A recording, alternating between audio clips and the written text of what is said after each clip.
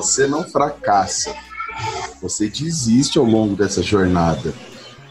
E por quê? Um dos motivos de você desistir é, é o que eu coloco, é o que eu falei, é você setar, você colocar uma expectativa régua lá em cima e não, você não estruturou essa sua meta, essa sua, essa, essa setar, colocar essa régua nessa altura, você não estruturou.